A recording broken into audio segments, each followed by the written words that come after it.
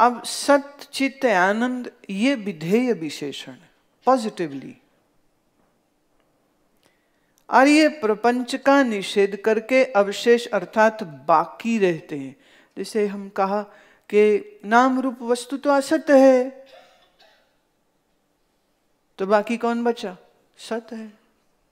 नाम रूप जड़ है, सत चेतन है।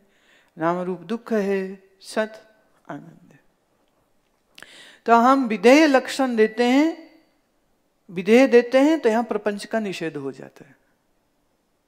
और निषेध में दूसरी बात है, वहाँ हम इसका पहले हटा देते हैं, निषेध पहले कर देते हैं, और पुष्टि इधर सत की हो जाती। अमरण, मरण नहीं है उसमें, अजन्म, जन्म नहीं है उसमें। अव्याख्य उसकी व्याख्या अव्यय, वो कभी खत्म नहीं होता। तो निषेध और विदेह लक्षणों से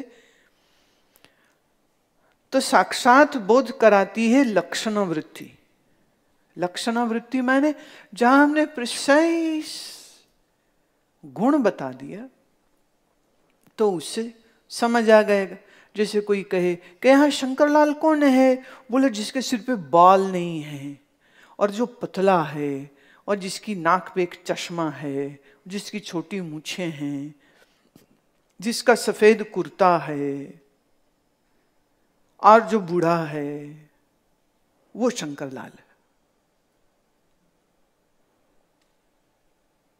अब ये जो बीच में मैंने बोला ना, सफ़ेद कुर्ता, ये बदल सकता है। पर गंजापन, अब उसका बुढ़ापा अब चश्मा भी बदल सकता है। उसने उतार के नीचे रख दिया। पर नाक? तो आम घरों में कई बार किसी की पहचान करने तो कहते वो जिसकी तोते जैसी नाक है। या वो जिसके नथुने बड़े भैंसे जैसे फूले हुए हैं। या जिसकी बड़ी सुंदर चिखी नाक है। हम उसकी बात कर रहे हैं। एक ही नाम के दो लोग हों। तो ऐसे हम शरीर के लक्षणों का भेद कर लेते हैं। पर अगर कोई कहे जिसने नीला कुर्ता पहना है शंकर लाल तो कुर्ता तो चेंजेबल एंटिटी है। पाप को वो गंजा है कम्बाल है, बूढ़ा है, अस्सी और पिचासी के बीच का है। तो it would be much easier to find out who this person is positive लक्षण। तो ब्रह्म का पॉजिटिव लक्षण से भी हम ब्रह्म का व्याख्या कर सकते हैं और निषिद्ध लक्षणों से भी हम उसको समझा सकते हैं। और ये तर्क बड़ा जेन्युन है कि आप अभी तो कह रहे हो कि ब्रह्म दिखता नहीं, सुनता नहीं, सूंघता नहीं, चखया नहीं जाए। तो फिर वो सच्चिदानंद कैसे पता चला? गप मार रहे हो? अंदाज कह रहे हो? कह रहे, ना ना, अंदाज नहीं कह रहे। वेद, गुरु शास्त्र से जो सुना, पहले तो सुना। तो हमारी बड़ी श्रद्धा है जी उसमें। तो वो झूठ थोड़े बोलते हैं। एक तो ये कारण। संतों ने कहा, वो सत्य चित्त, आनंद व्यापक है। तो हम बिल्कुल स्वीकार करते हैं। फिर हमने बुद्धि लगाई और अन्वय व्यतिरेक प्रीति से समझा। तो भी समझ आ गई। फिर हमने विधेय लक्षण लिए तो भी समझ आ गई। और फिर हमने निषिद्ध लक्षण लिए तो उससे भी समझ आ गई। इसलिए हम निश्चय से कहते हैं।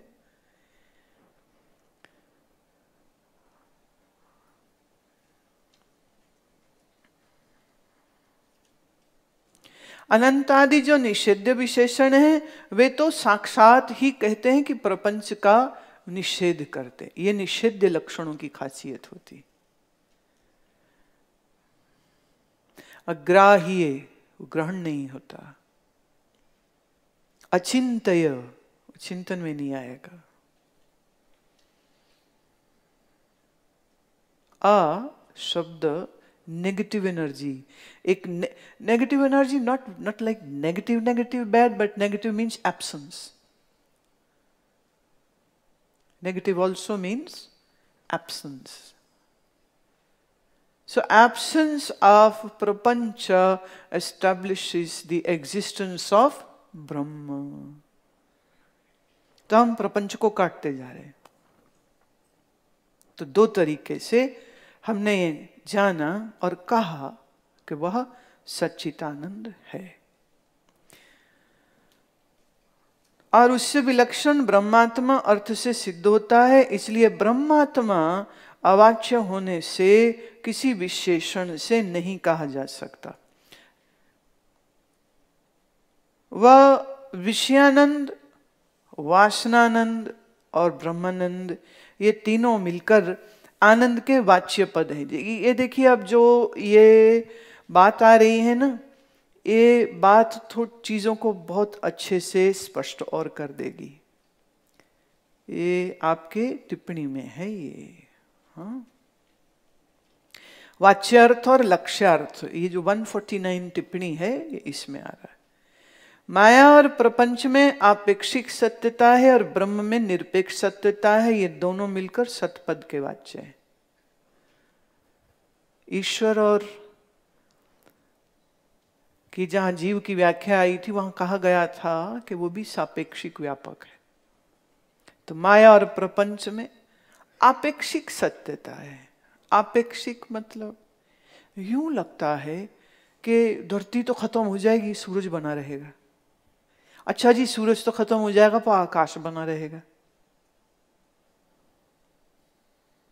अपेक्षिक पर ब्रह्म तो निरपेक्ष सत्य है। तो कहते ये दोनों मिला लो, संसार की अपेक्षिक सत्यता और ब्रह्म की निरपेक्ष सत्यता। ये ब्रह्म की पूर्ण सत्यता को घोषणा कर देता है। माया की सत्यता को त्याग कर केवल ब्रह्म की सत्यता लक्ष्य है। जब हम ये कहते हैं कि माया और ब्रह्म को ऑल दी वे बैक पिछली कलाम में आया था, ये दोनों अनादि हैं। पर माया निवृत्त होती है, ब्रह्म कभी निवृत्त नहीं होता। तो माया भी सत्य लगती है ब्रह्म भी सत्य लगता है। पर इसमें जब हम सत्य की बात कर रहे होते हैं तो उसमें हमें प्रूव ये नहीं करना कि माया सत्य है। हम प्रूव यही करना चाह रहे हैं कि है तो ब्रह्म ही सत्य। उसके कारण माया भी सत्य प्रतीत होती। अंतकरण की वृत्ति रूप ज्ञान और चेतन रूप ज्ञान, ये दोनों मिलकर चित्त पद के वाच्य हैं। वाच्यार्थ और लक्ष्यार्थ, ये पूरा विषय इस तरंग में, इस कला में वाच्य अर्थ और लक्ष्यार्थ के विषय में बताएगा। वचन हम जो बोल रहे हैं, हमारा इशारा किस ओर है? जहाँ इशारा है, वो हुआ लक्ष्य। तो लक्ष्य के अर्थ, जो वचन बोले, वो हुआ लक्ष्यार्थ। वचन जो बोला, वो हुआ वाच्य अर्थ गेटिंग लिटिल कॉम्प्लिकेटेड राइट एक वचन है, एक वचन का लक्ष्य है। वचन हम किस लक्ष्य के लिए बोल रहे हैं। उस क्रम को लेते हुए ये बात कही जा रही है कि ब्रह्म सत्य है, ये वचन तुमने कैसे कहा? तो कह रहे हैं, ऐसे कहा कि हमने पहले दिखाया तुम्हें प्रपंच, और फिर साबित किया कि ये कल्पित है। फिर हमने साबित किया कि कल्पित जो है, वो बिना किसी आधार के तो हो नहीं सकता। तो प्रूव हमें आधार को करना है, ना कि कल्पना को।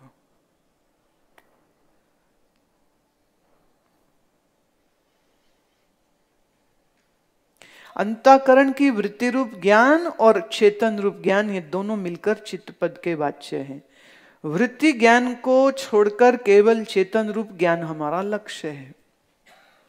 अंतकरण की वृत्ति वृत्ति में छल का चेतन, दोनों मिलके कहा हुआ चित्त किसका? वाच्य है है तो स्वरूप का ही, पर इसमें हमारा काम क्या है? हम वृत्ति को छोड़ देते हैं, चेतन को पकड़ लेते। चेतन में ही हूँ तो मैं और मेरा आभास आभास किसमें हो रहा बोले, वृत्ति में। बोले, वृत्ति छोड़ो, चेतन को पकड़ो। वृत्ति क्या है बदलने वाली? मैं कौन हूँ ना बदलने वाला? वृत्ति है जड़। मैं हूँ चैतन्य। बोले तो वृत्ति को लेके हमने मैं चेतन हूँ सिद्ध कर दिया। नहीं तो कैसे सिद्ध करें ना कि मैं चैतन्य हूँ? कुछ ऐसा लेना पड़ेगा ना जो चेतन नहीं है। तो कौन चेतन नहीं है? हाँ? हाँ कौन कौन जड़ है? बुद्धि है, मन है, इंद्रिय है, शरीर है, बार पर, प्रपंच है, ये सब ये सब जड़। अच्छा एक काम करो, सब आँख बंद करो। अब बताओ, मेरे हाथ में क्या पकड़ा हुआ है? आँख बंद रखनी। ए चोरी नहीं करनी।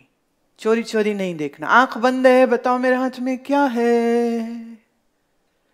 हाथ मार के पीछे से कोई कह रहा है, जी, कुछ नहीं हमें क्या पता? अच्छा आप आँख खोलो और मेरी ओर देखो तो हाथ में कुछ भी नहीं है। तो नेत्र ने जाना कुछ नहीं है कि मन ने जाना कुछ नहीं है? मन ने जाना कुछ नहीं है कि बुद्धि ने कहा कुछ नहीं है? बुद्धि ने कहा कुछ नहीं है कि मैं चैतन्य ने कहा कुछ नहीं है?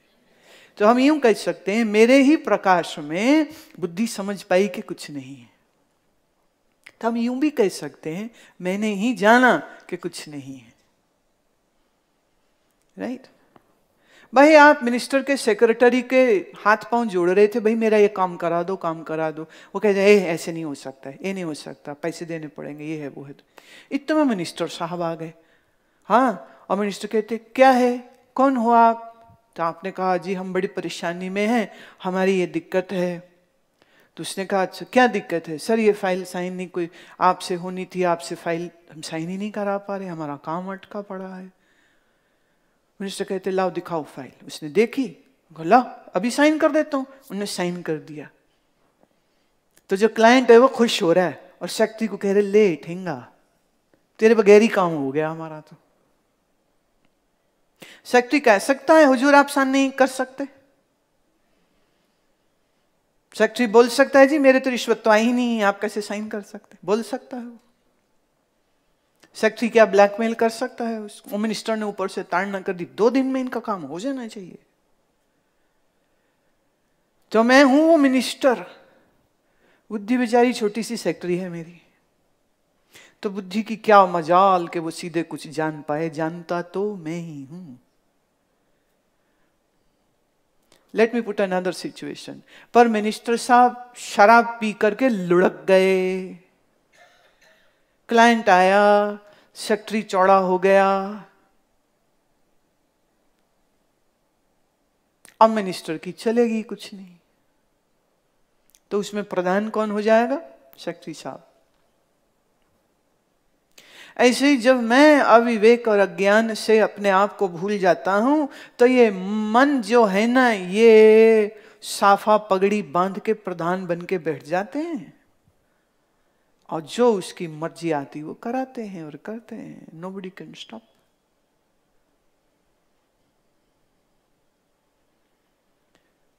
बुद्धि नहीं जानती, मैं ही जानता। पर याद रहे, बुद्धि मेरा ही सेक्रेटरी है। So secretary suppose to serve the boss not boss I suppose to serve the secretary अज्ञानी का मन प्रदान हो गया और ज्ञानी का मन गुलाम हो जाता है। ये फ़र्क अभी मन तुम्हारी सुनता है।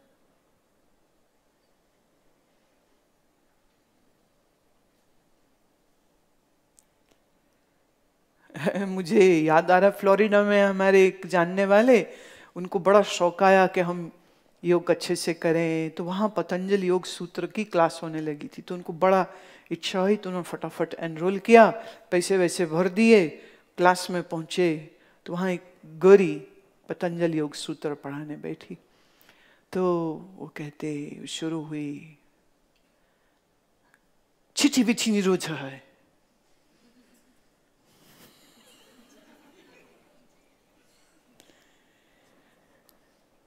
तो पूरी क्लास जो है, मिक्स गोरे ज़्यादा थे, देसी थोड़े कम थे तो वो भी सब छिछी वृछी न उठा फिर उस साल जो मैं अमेरिका गई तो मुझे उसने बताया कि हम ऐसे yoga class, yoga school join किया है और वहाँ पतंजलि योग सूत्र आई वॉज़ वेरी इम्प्रेस्ड मैं अच्छा। फिर कितनी बस एक ही प्रॉब्लम है कि हम भी छः महीने तक कुछ गलत बोलते रहे, कुछ गलत समझते रहे। फिर एक जगह जब हमें आपका एक्सेस हुआ, पतंजलि योग सूत्र जो आपने समझाया है तो समझ लगा कि हम तो श्लोकी गलत बोलते चले जा रहे थे। उता चित्त वृत्ति निरोध। तो चिठी वृत्ति निरोध है।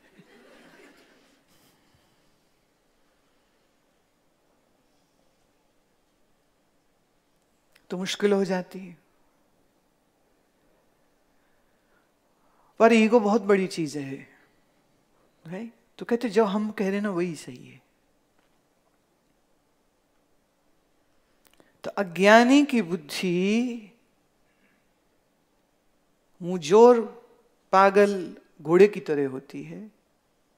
ज्ञानी की बुद्धि सभ्य, सुसंस्कृत और अनुशासित होती। क्यों?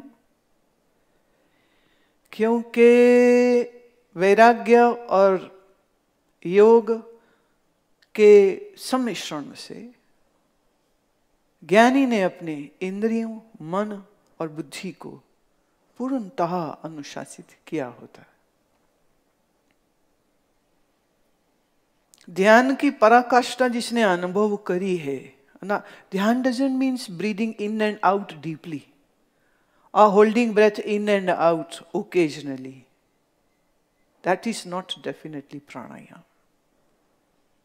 तो प्राणायाम का रहस्य क्या है ध्यान क्या है उसकी अनुभूति रहे, वैराग्य रहे, विवेक रहे तो मन बुद्धि है अनुशासित तो बुद्धि फिर वो शीशा बन जाती है जो मुझे पार देखने में मदद करती है, पर जब बुद्धि स्थिर नहीं होती है तो वो दीवार जैसी हो जाती, जिसके पार कुछ देख ही नहीं सकते।